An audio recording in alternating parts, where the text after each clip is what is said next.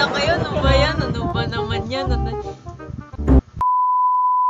Ayan na! Ayan na apoy!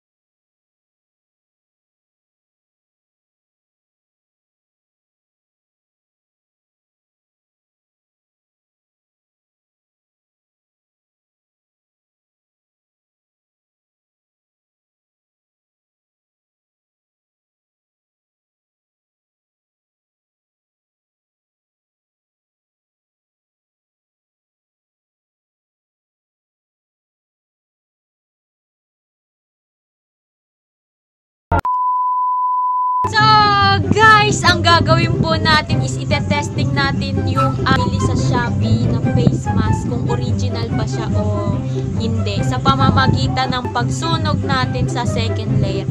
Pag nag-melt yung second layer nito, ibig sabihin original po siya. Pero pag di po siya nag-melt, ano, ibig sabihin fake po siya. So, uumpisahan ko na po, uumpisahan na po na. ko lang po tong face mask.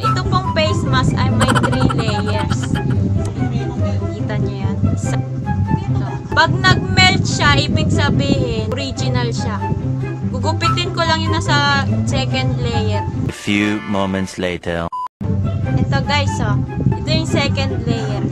Disclaimer lang kung may mga nakakatanda kayo, kailangan may bantay kayo dito kasi magsusunog tayo. Ayan na! Ayan na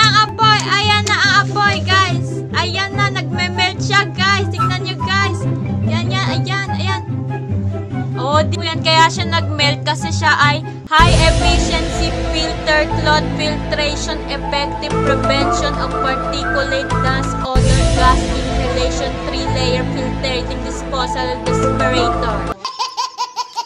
Guys, sana na gusto nyo po yung vlog na simpleng vlog na simpleng vlog na simpleng vlog na ito, no? So, kung bago ka lang sa YouTube channel ko, like and subscribe! Bye! Paalam!